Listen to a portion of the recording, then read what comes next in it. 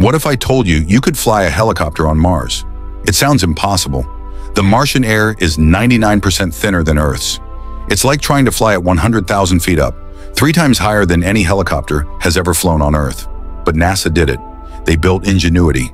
This tiny four-pound helicopter had to be a masterpiece of engineering.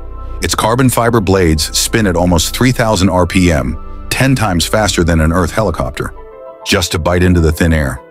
Its computer had to be smart enough to pilot itself because a command from Earth takes over 15 minutes to arrive. On April 19, 2021, Ingenuity lifted off. For 39 seconds, it hovered, flew, and landed.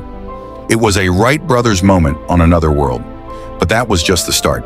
Designed for just five test flights, Ingenuity kept flying for over three years, completing 72 missions. It became a robotic scout for the Perseverance rover, flying ahead to spot interesting rocks and safe paths. It proved that powered, controlled flight on another planet is possible. This tiny helicopter has paved the way for future flying explorers that will map canyons, scout cliffs, and search for signs of life in places rovers can never reach.